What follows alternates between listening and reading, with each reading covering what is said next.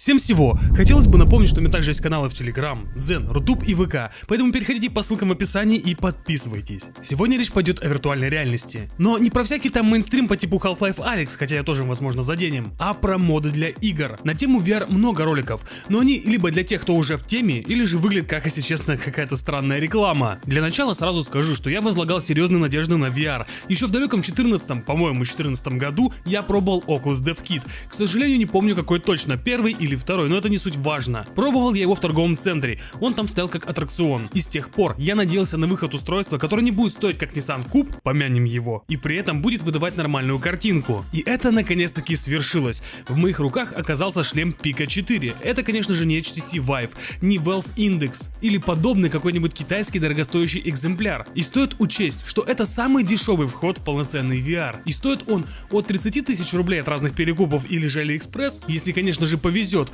и до 50 тысяч рублей, если мы берем самую жирную версию и покупаем ее в магазине. Существуют две версии Pika 4, они отличаются только памятью, 128 гигов встроенной памяти или 256, 128 за 40 тысяч и 256 за 50 тысяч.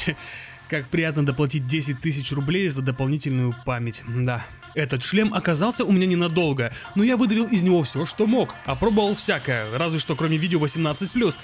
И, если честно, маленько жалею об этом. Нужно было приобщиться, скажем так. И многие спросят, а чего это не самый популярный VR Oculus Quest 2? М? Почему какой-то там обоссанный китайский Pika 4? А потому что если у тебя Oculus, то нужно париться с VPN и прочим говном. Ну, потому что санкции. На этот раз санкции от нас, ведь мета признана экстремистской организацией. Но, тем не менее, если бы санкции были не от нас, то они бы наложили эти санкции, я уверен. Так что разницы нет. А париться с настройкой VPN и прочего говна мне не хотелось. Я этим не парюсь даже когда игры покупаю. Ведь сейчас даже игры купить та еще проблема, или просто пополнить кошелек Steam. А ведь действительно, как пополнить кошелек Steam, спросите вы? Или как купить игру из России? Площадка Case for Gamers. Тут есть все. Игровые ключи для Steam, Battle.net, Origin, Epic Game Store и так далее. Консольные игры для Nintendo, Xbox и PlayStation. Также можно приобрести геймпоинты для FIFA, например. Или же золото для Warcraft. Также есть возможность купить карты оплаты для Amazon, iTunes, Google Play и конечно же же можно пополнить кошелек Steam. И можно приобрести разный софт,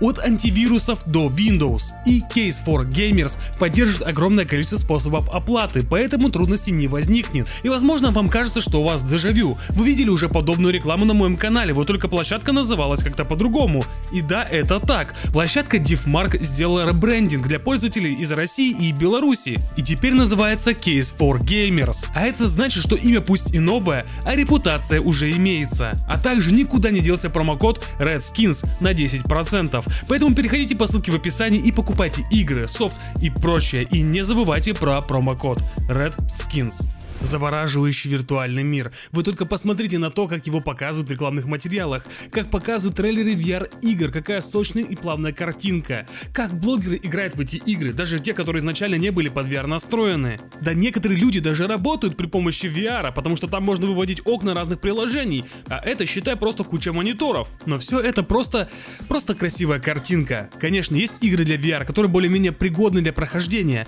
а есть моды к тем играм, которые мы уже с вами полюбили и хотели хотели бы в них погрузиться снова, но в этот раз еще сильнее при помощи VR. И казалось бы, есть моды, и игра идеально для этого подходит, но все не так просто. Вот посмотришь ты такой на GTA 5 с VR-модом, или же на Red Dead Redemption 2, и подумаешь, насколько же это великолепно оказаться в этом мире снова и погрузиться в него максимально. Ведь блогеры, которые делали подобные ролики, не сказали ни слова о том, что на самом деле представляет из себя игра, например, в Red Dead Redemption 2 с шлемом. И это по факту просто пытка. Если вы думаете, что вы погрузитесь в мир Red Dead Redemption 2 на часов 5-6 не отвлекаясь, ведь игра сама по себе весьма медленная, а с VR так должна вообще захватывать на очень долгое количество времени, то вы ошибаетесь. Играть, именно играть в эту игру с VR-очками нереально. Можно наслаждаться природой, можно медленно перемещаться и смотреть по сторонам. И я, например, посмотрел представление от начала до конца, которое проходило там в театре. И это было шедеврально. Но вот именно играть, это считай невозможно. Нужно быть человеком с какими-то, не знаю, металлическими глазами и какой-то дикой вестибуляркой. Или же заниматься истязанием самого себя, чтобы организм подпривык. Это не игра, это аттракцион. А если вдруг ты захотел все превозмогать, перетерпеть, привыкнуть и пройти эту игру с VR, то... Мне кажется, это на самом деле адаптироваться к этому просто невозможно. Я не говорю про управление, к которому можно привыкнуть. Ведь целишься ты теперь не стиком, а головой. Управление это мелочь. Я говорю про физический дискомфорт, который возникает по нескольким причинам. Первая причина это камера. Казалось бы, там есть камера от первого лица, чего такого, но есть нюанс. Она что в GTA, что в RDR слегка трясется, колышется, ну и так далее. Даже когда персонаж просто стоит, что вызывает дискомфорт, то с непривычки может даже начать тошнить. Хотя у меня с этим делом было все нормально, ведь я пришел сюда уже закаленным. Я прошел Half-Life Alex, причем на стиках, без телепорта. А люди, которые играли, должны знать, что на стиках играть весьма с непривычки сложновато, особенно кручение головой. Так вот, несмотря на всю мою закалку, вот эти вот небольшие движения камеры от первого лица в игре э, вызывают неприятные ощущения. Наверное, если играть при помощи монитора, я уже как бы забыл, в RDR давно не играл, это наоборот вызывает такое, знаете, погружение, но вот со шлема нет. При этом не стоит забывать, что в игре персонаж часто падает, что в GTA, что в RDR. Как минимум гораздо чаще, чем хотелось бы для игры в VR. Каждое падение вызывает тошноту, и очки сразу хочется сорвать со своей головы. Просто, если честно, невыносимо. Пункт номер два. Такие игры, как Red Dead Redemption, сами по себе очень требовательны к железу, а со шлемом начинается полный ад. Системные требования вырастают практически вдвое, ведь нужно рендерить уже две картинки, и в зависимости от очков и разрешения весьма нестандартное. И это еще нужно помножить на чувствительность к FPS, ведь тут она совсем другая. Если на компьютере у вас 30-40 кадров в секунду, то как бы насрать. Возможно, чуть-чуть дискомфортно, но играть можно. А вот в шлеме это проблема. Если частота кадров падает, то это настолько сильно сказывается на самочувствии, что опять же хочется просто сорвать шлем с головы немедленно. А значит, для игры в тот же самый Red Dead Redemption 2 нужен вполне себе мощный компьютер, которым обладает не каждый. Пункт номер 3.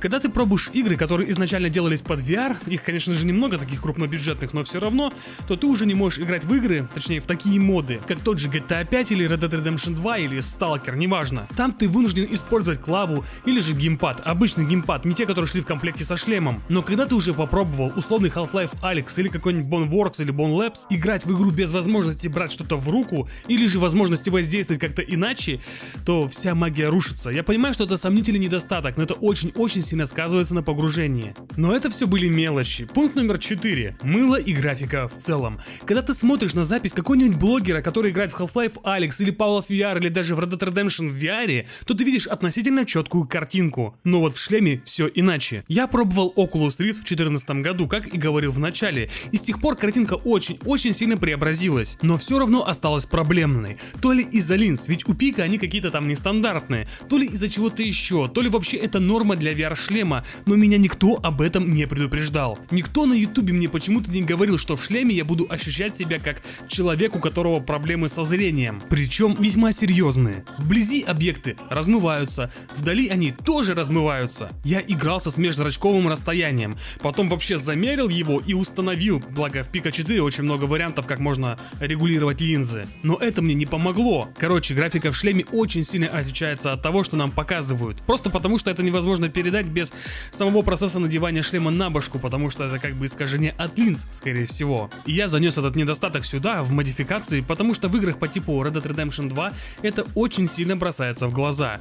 Ты хочешь насладиться тамошними пейзажами, природой, облаками и прочим, но вместо этого ты получаешь близозоркость и дальнорукость, ну или как там вообще так говно называется.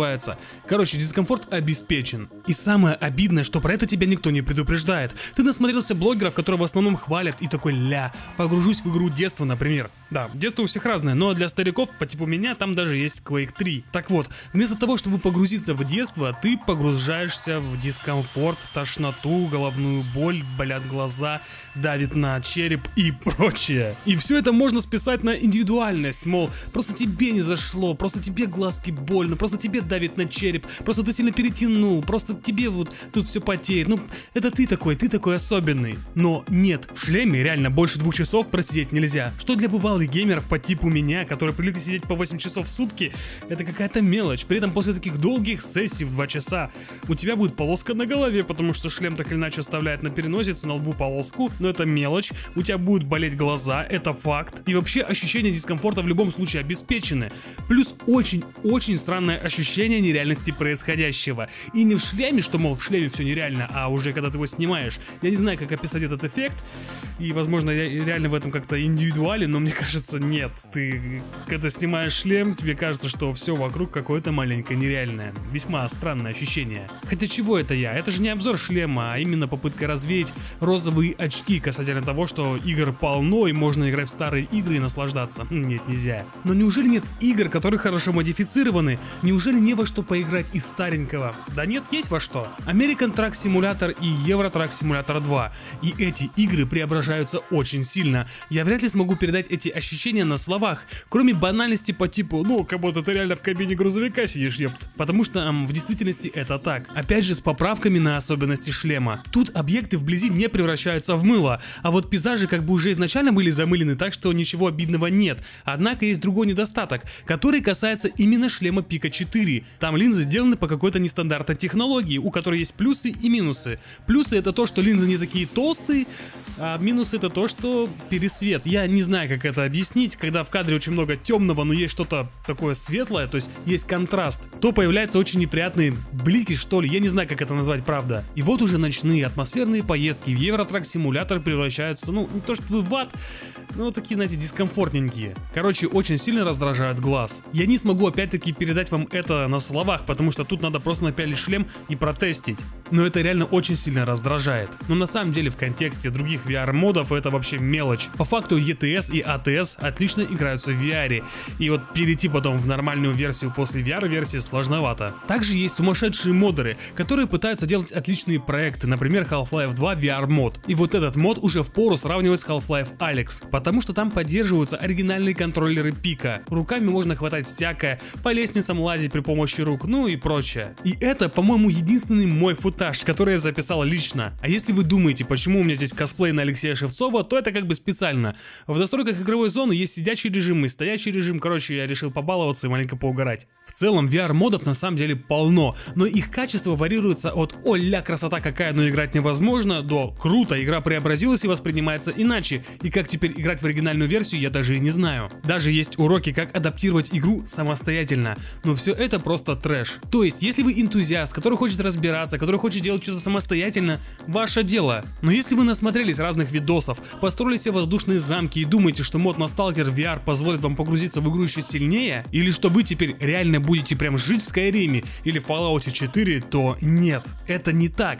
Да и Skyrim VR и Fallout VR это фактически уровень фанатского мода, а не отдельного проекта. А насчет Stalker VR, я пробовал его запустить, причем сборку на Anomaly. Но это настолько крышесносно визуально, настолько же и неиграбельно. Я попробовал поиграть в замену Сталкера, и в этом плане VR, конечно же, прикольная штука. Сейчас VR напоминает мобильный рынок там 5-10-летней давности, когда небольшие студии делали игры для мобилок, нагло воруя идею из крупных игр. И VR это прям один в один эта история. Вот есть игра, все разработчики там, судя по всему, либо украинцы, либо белорусы, либо русские, но игра называется по-английски Into the Radius. Прям сталкер-сталкер, который занялся любовью с Тарковым, и вот результат. Я даже ее стримил.